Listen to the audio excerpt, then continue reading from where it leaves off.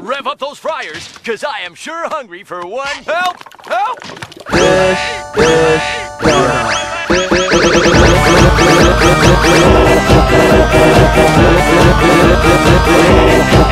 push.